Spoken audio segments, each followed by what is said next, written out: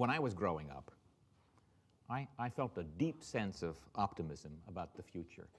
I mean, back then we were rocketing people to the moon. I mean, it was incredible. The future held so much promise and so much wonder.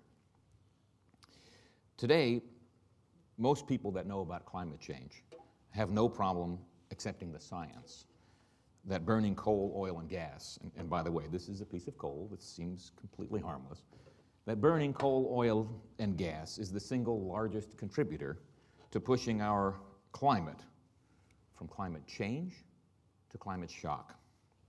The seas are rising, we know that, and they will continue to rise significantly. Storms are getting stronger and they're causing a lot more damage. Wildfires are more widespread, and the wildfire season every year is expanding by two to three months. Uh, our droughts are becoming more extreme and more widespread, and they are converting an increasing amount of land to desert. Our floods are more damaging, the heat waves are more destructive, and actually very bad for human health. Here in New York City, by 2050, the New York City Panel on Climate Change has told us that we can expect more than double the number of 90 degree plus days. That we should expect one to two feet of sea level rise here in New York by 2050. And that's not when it's going to stop. It will continue from there. Most of our children know about climate change. We teach them about it. I don't think that they're as optimistic about the future as we were when we were children. And I don't believe that we adults are as optimistic about the future either. Let me ask, by a show of hands, if I could give you, knowing what we're doing to the planet, if I could give you a one way ticket to the year 2070, how many of you would go? I don't see any hands. And yet, that is exactly where we're sending our children. Ten years ago, I learned of the urgency of the climate crisis. I understood that, unlike the cyclical nature of other terrible things in the world, like wars and uh, the economy, uh, climate change would only get worse. I thought, to myself, the general public will learn just like I did, and surely action will be broad and swift. So I put my talents to work. I'll focus on energy efficiency. That's what I do. And the renewable energy systems will take over and they'll replace our energy infrastructure. Soon we'll be free of the negative impacts of coal, oil, and gas, and I'll be part of it, and it's going to be awesome. Well, clearly, the timeline that I was anticipating was overly optimistic. I believe that for many of us, it seems like we'd have to sacrifice our lifestyle to be environmentally responsible. We pull up to the pump and we fill our gas tanks. We use electricity. We cook with gas. We buy products that we know have an environmental impact, but this is how we live. Psychologists tell us that we have something called loss aversion we are, if we have a choice between avoiding a loss of something that we have versus acquiring a gain, that we, most of the time, we'll avoid the loss. We'll hang on to what we have. But we don't have to choose between losing our lifestyle and gaining a healthy environment. It's a false choice. For example, compared to Americans, Europeans have half the carbon footprint that we do. And yet, to borrow a phrase, they still have hot showers and cold beer. Our goal is to continue to support our lifestyle as we drive our carbon footprint to zero. Now, I've given scores of talks to thousands of people about climate change, and just about everyone has the same bottom line question okay, that sounds bad. What can I do? Well, let's start with just three things that you have a direct impact, give you a direct impact on your carbon footprint as an individual. First, we need electricity to power our lights, appliances, and electronics. Now, if you live in a state with a deregulated electricity market like Texas or New York, you can buy renewable energy for the electricity in your home. Lifestyle impact? Zero. The way it works is that they produce renewable energy with something like a wind farm. They put the energy into the grid, and they're allowed to sell as much as they make. Once again, lifestyle impact zero. It's just converting suppliers. Second, we need to get places. Now, clearly, mass transit's the way to go in terms of carbon footprint, but we still need cars. Electric cars charged with our green powered homes would reduce our carbon footprint from driving our cars.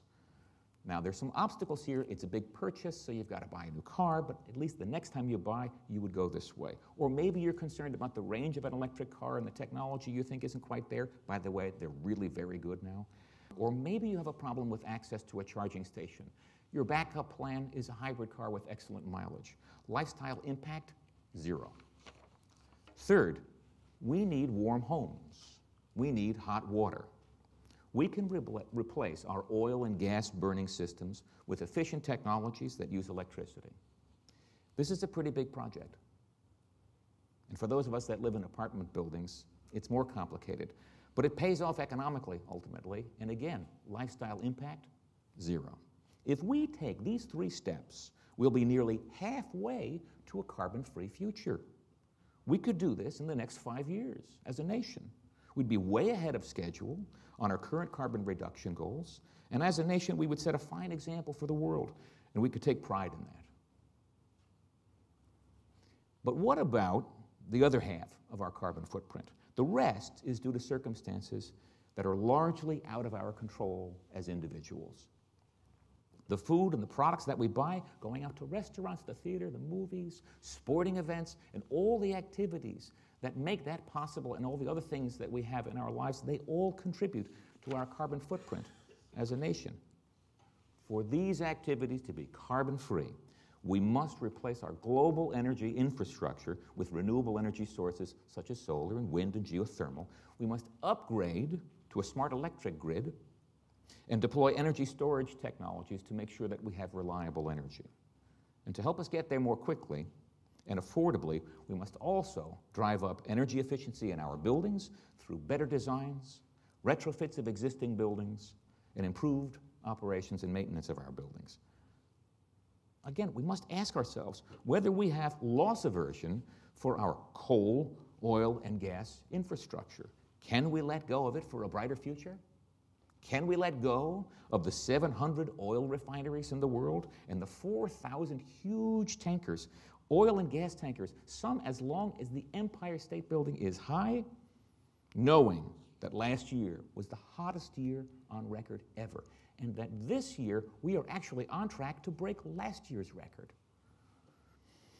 And that by letting go, we can slow global warming and reduce the risks of climate shock.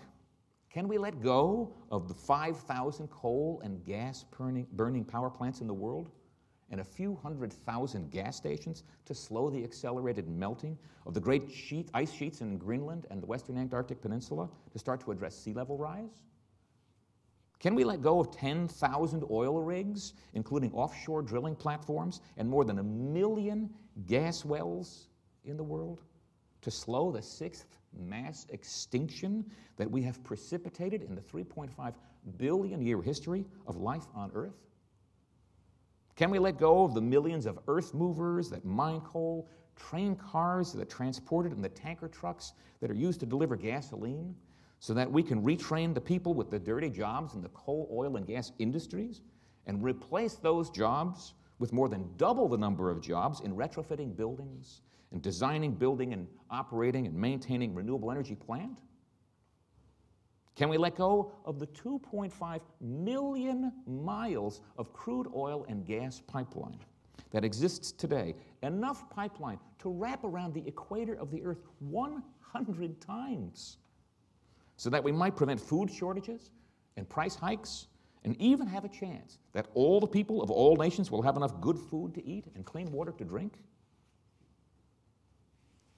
Can we let go of more than 1 billion, 1 billion cars with combustion engines, knowing of the World Health Organization's determination that one out of every eight deaths worldwide is a premature death linked somehow to air pollution? Much of which comes from the burning of coal, oil, and gas. so that the air can be clean from Argentina to Algeria and from Beijing to Bismarck? And finally, can we, as a society, let go of the $27 trillion, $27 trillion worth of coal, oil, and gas reserves that are in the ground, knowing that if we burn it all, we will surely bake the planet beyond recognition, and that if we leave it in the ground, that we will loosen the grip of dictators in oil-rich countries and remove petropolitics from geopolitics? I think we can. I know many of you were thinking, after that laundry list of all the things that we'd have to let go of, that this sounds expensive. But if knowing that the planet would no longer be habitable isn't enough of a reason for action, and that we insist that this trans- transition must make economic sense, well, I have good news for us all. It does make economic sense. The economics are also viable. There are myriad well vetted analyses by the experts such as the Stern Review on the Economics of Climate Change, that conclude that addressing climate change will be costly, but delay would bear a much greater cost. This is the common theme among the economists. Ultimately, the good news, with the cost of renewable energy sources now reaching parity with coal, oil, and gas, is that much of this transition to a low carbon society would occur driven by market forces alone. The problem is that the pace for phasing out coal, oil, and gas is too slow to avoid the worst effects of climate change. Our timeline doesn't align with nature's timeline, and not by a long shot.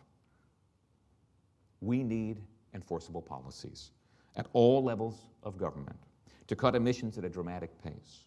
Policies that will move items from my want to do list to my must do list to overcome our resistance to change. But we would be naive not to acknowledge that the most profitable industry in history wields power and influence at the highest levels of government.